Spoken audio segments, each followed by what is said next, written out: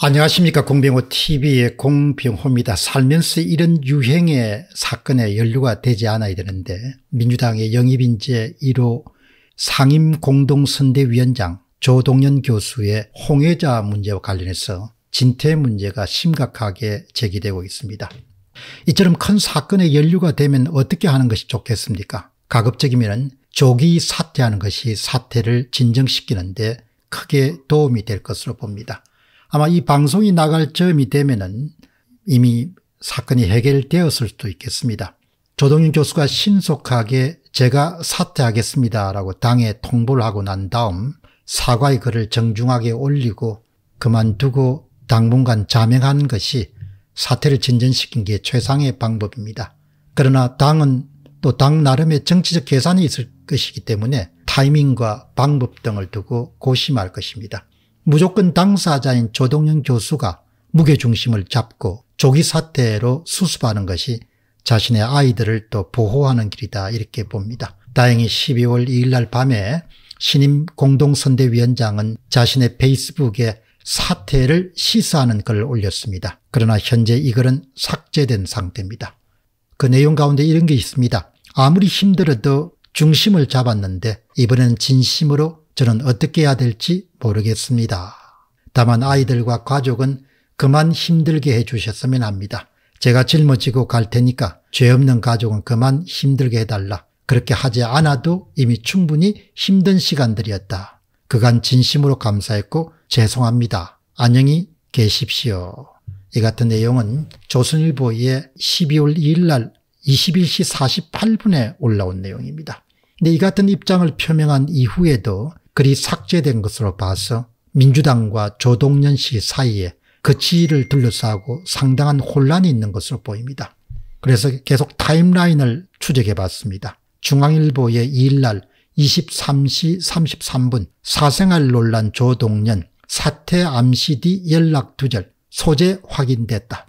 MBC 2일날 3일이죠. 12시 14분 조동연 충분히 힘든 시간들이었다. 안녕히 계세요. 사태 시사 뉴시스 3일날 12시 30분 조동연 사태 암시에 민주 확인 중 당혹 경찰 신고 접수도 새벽 3시 30분 기준으로 공병호 TV의 설문조사를 따르면 이 설문조사에 1만 8천 명이 참여했고 95%가 문제가 된다. 그렇기 때문에 사퇴하는 게 좋겠다는 것이고 4%만이 별 문제가 없다. 험의되지 않는다. 그리고 표에 영향이 없을 것이다. 뭐 이런 부분에 4%에 불과합니다. 아마 대다수 국민들이 사퇴를 요구할 것입니다. 아마도 국민 대다수의 의견도 압도적인 다수가 민주당 공동 상임 선대위원장으로 적합하지 않다는 의견을 갖고 있을 것으로 봅니다. 잠시 현재 문제가 되고 있는 조동연 씨의 혼외 출생 문제는 한번 살펴볼 필요가 있겠습니다. 2010년 무렵에 남편 전모 대의가 전방에 근무하는 동안 조동연 대의가 그 당시 29세 전후입니다. 경희대 평화대학원 파견 교육을 나와 있을 때 그 문제가 발생한 것으로 봅니다.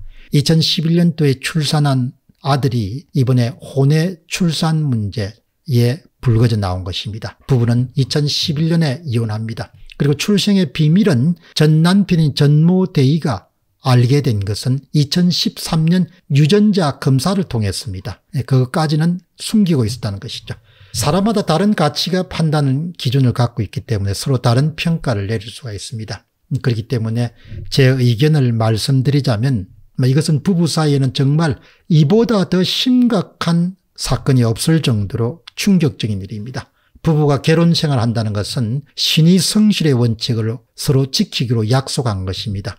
근 다른 사람의 아이를 가지고 그 아이를 마치 남편의 아이인 것처럼 속인 것은 상식적으로 받아들이기가 힘든 일입니다. 물론 부부간의 일이기 때문에 더욱 복잡한 부분이 있을 수가 있습니다. 그리고 더욱 놀라운 것은 아이가 3살이 되던 해에 남편이 직접 주식회사 휴먼패스에 의뢰해서 유전자 검사 결과를 통해서 알게 된 사실입니다. 대개 아이들은 외모뿐만 아니라 모든 것을 아버지를 닮게 됩니다. 그래서 옛날 어른들이 흔히 시도도 못한다는 말이 전해져 내려오죠. 그만큼 보면 척 보면 안다는 것이죠.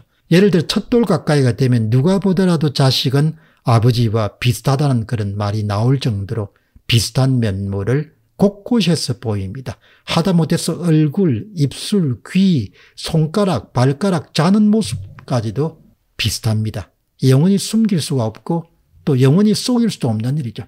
이런 사건을 겪고 나서도 정치를 하겠다고 나선 것이 조동년 씨의 아주 인생을 둔 그런 패착이었습니다. 얼른 물러나서 수습하기 바랍니다. 그만두면은 조용해질 겁니다. 그냥 해프닝으로 덮이고 또 세월 가면은 또 잊혀지게 됩니다. 또 그렇게 삶은 계속되기 때문에 조동년 씨가 이 방송이 이제 나가게 될 점까지는 대부분 정리해 가지고 그냥 사퇴하는 걸로 그렇게 결정하는 것이 좋겠다 이렇게 봅니다.